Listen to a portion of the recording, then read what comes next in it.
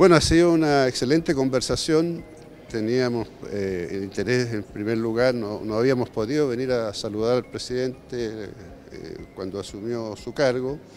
Y se da la oportunidad ahora y hemos eh, tenido también la ocasión de entregarle las conclusiones del Convento Masónico Nacional que se realizó en el verano en todo el país y que recoge el pensamiento de nuestra institución frente a la contingencia que surge con el estallido social.